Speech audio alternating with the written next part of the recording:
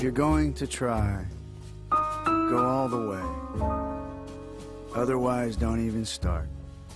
This could mean losing girlfriends, wives, relatives, jobs, and maybe your mind.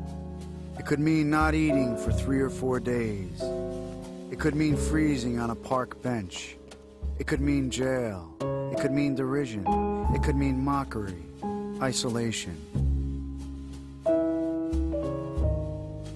Isolation is the gift.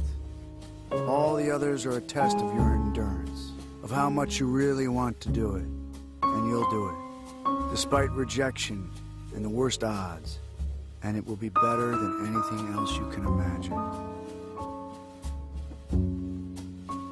If you're going to try, go all the way. There is no other feeling like that. You will be alone with the gods, and the nights will flame with fire. You will ride life straight to perfect laughter. It's the only good fight there is.